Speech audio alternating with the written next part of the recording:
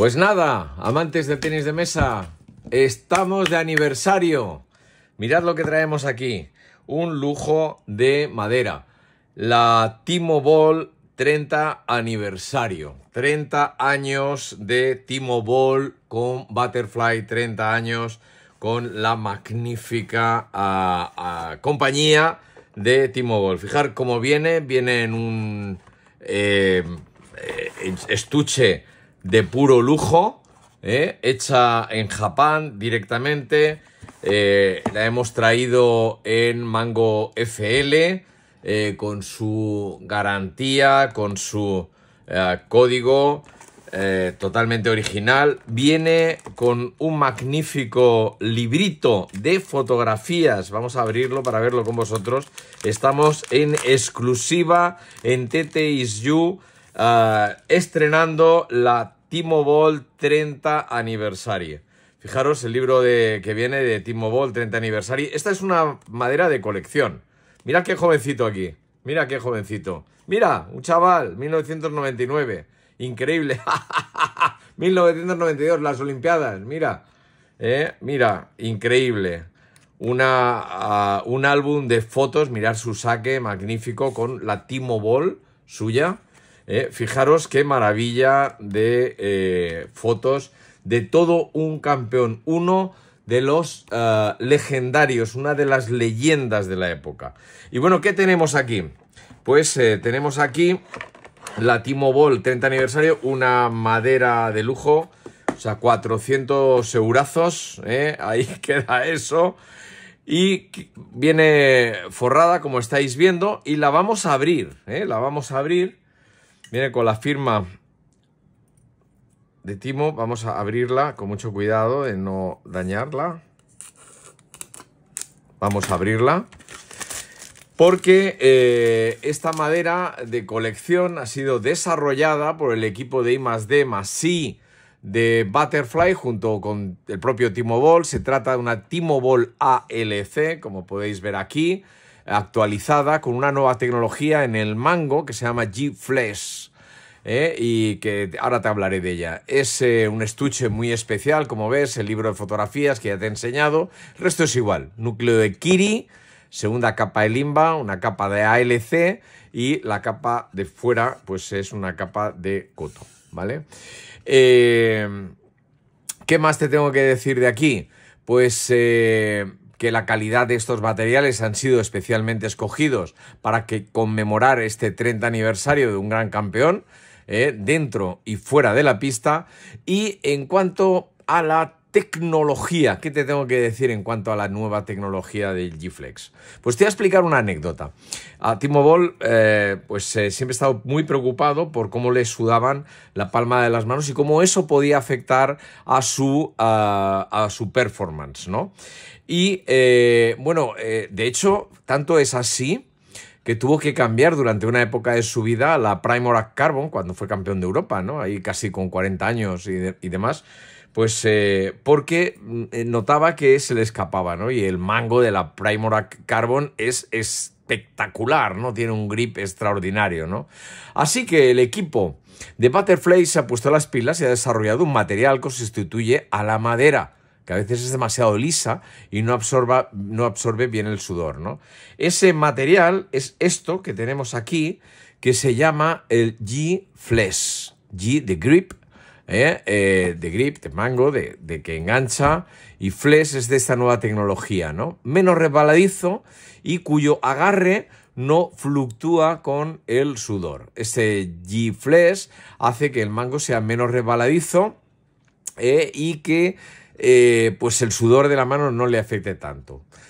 Timo parece que está utilizando este mango ya en las competiciones internacionales y que le ha gustado esto de los materiales, ¿no? Así que, bueno, una cosa, una anécdota. Como nada es perfecto, pues Butterfly avisa de que este nuevo material puede dañarse o deformarse con facilidad porque es muy suave si se aprieta muy fuerte, ¿no? Y también dice, oye, y el color que tiene, pues con el sudor o con el uso puede verse cambiado, ¿no? También la textura. Como veis, otra de las novedades es que en vez de tener el Timo Ball puesto aquí en el centro, lo han puesto aquí abajo, la etiqueta, ¿veis el sello? Lo han puesto aquí abajo, ¿para qué? Para que no resbale y no haga sudar parte de los dedos que es muy habitual eh, que esto pase si, por ejemplo, pues en la Primordial Carbon o muchas maderas eh, de, HS o de Butterfly, ¿no? La propia Viscaria que tiene un, un, sello muy grande en el centro, ¿no? Así que vamos a ver si esta innovación ha venido para quedarse. Vamos a hacer lo que solemos hacer siempre, que es vamos a pesar la madera, vamos a buscar su punto de equilibrio y vamos a ver dónde está eh, pues su frecuencia. 81, ya estamos viendo que es muy ligera, una parte de la innovación está en este G-Flex, esta parte azul que veis aquí, ¿eh? esa parte azul es el G-Flex, eh, ya estamos viendo que tiene un peso de 81 que vamos a traspasar a nuestra mm, base de datos de forma inmediata. Vamos a poner aquí nuestro, nuestro librito 81. Fijaros que la eh, ALC estaba en 85, es un poquito más ah, suave. Vamos a ver el punto de equilibrio de esta goma, os tengo que de esta madera. Vamos a ver si es más o es menos que eh, la equivalente al balance que teníamos en la... Vamos a ponerlo ahí. Dejarme que lo mire.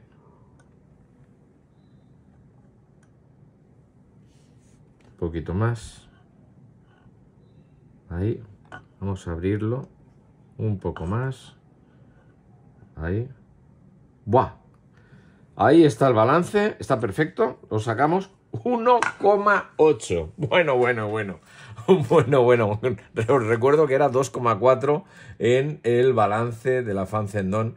Luego, esta madera eh, tiene un balance brutal. Y ahora vamos a ver con nuestro Spectroid, vamos a ver cómo suena esta, esta pala, ¿vale? Vamos a ponerla, nos callamos. Ahí va.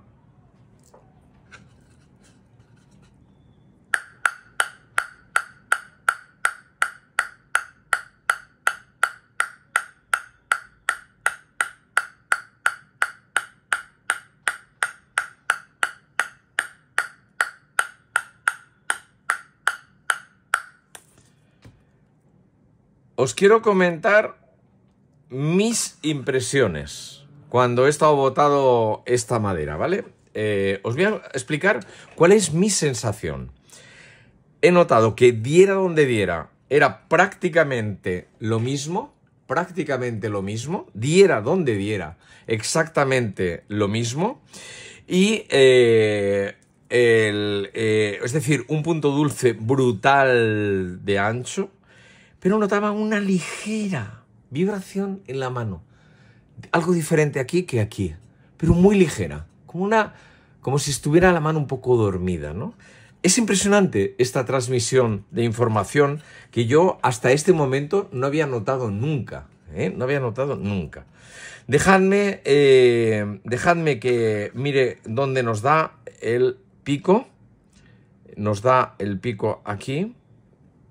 Y estamos hablando de 1418.